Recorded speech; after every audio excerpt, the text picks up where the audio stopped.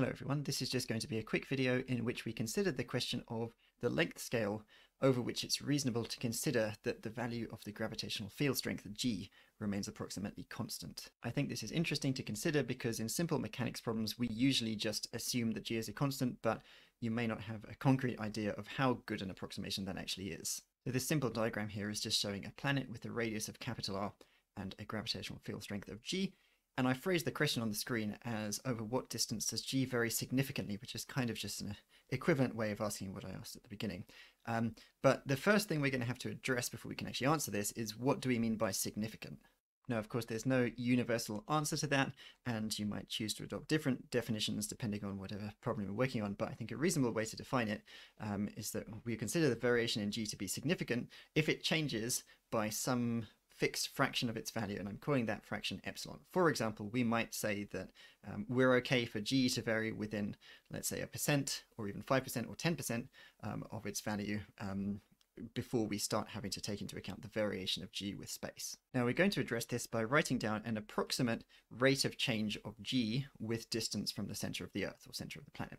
Now that uh, approximate rate of change we could write as delta g, change in g, divided by, um, well, delta r, delta lowercase r, where lowercase r is just the distance, radial distance from the center of the planet, but we're specifically interested in this length scale um, over which uh, g changes significantly, so we may as well call that delta r L to indicate that's the thing that we're looking for. And according to the definition of significance that we've adopted above, we're interested in the case where delta g is a fraction epsilon times g itself. Now this is useful because provided we take epsilon to be small, then epsilon g will also be a small quantity, and this will be a decent approximation to the actual rate of change of g with distance, which is the derivative dg by dr. And then we can of course just rearrange this to get the length scale L, which is what we're interested in. It's going to be epsilon g divided by that derivative dg by dr. I'm also going to put modulus signs um, around this because of course g is actually decreasing with with lowercase r with distance from the center of the earth, um, but we don't really want that to affect our uh, our result. We just care about the size of the length scale. Now we know both g and dg by dr because g follows an inverse square law. So we can write down that g is minus gm over r squared, standard expression for uh, gravitational field when you've got spherical symmetry. Um, and then we just differentiate this to find dg by dr. Um, you're going to pull down a minus 2 because this is uh, r to the minus 2 really. Uh, so you're going to get 2 gm um, over r cubed for your derivative. So let's plug all of that into our expression for L up at the top there.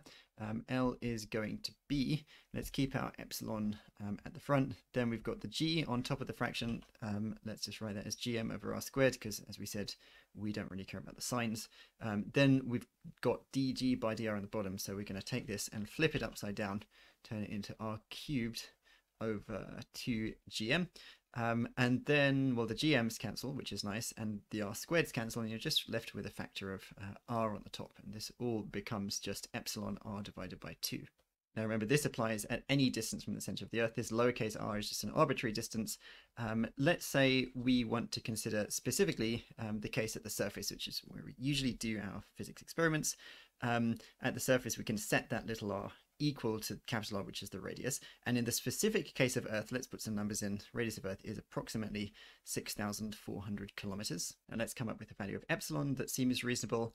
Uh, I would say maybe if G varies within about a percent of its value, unless you're doing super, super precise experiments, um, then maybe it's reasonable to consider that G is constant over that length scale. So let's take epsilon to be 0.01 corresponding to 1%. Um, so then our formula tells us that we just multiply the distance, r by epsilon divided by 2. Uh, multiplying 6,400 by 0.01 is just going to give 64, and then 64 divided by 2 is 32. And so our length scale is about 32 kilometers. For reference, that's about four times the height of Mount Everest above sea level, or equivalently about four times the typical altitude of a commercial passenger jet. And that's just for 1% variation in g, and therefore we've kind of justified why it's okay to assume that g is constant on everyday length scales.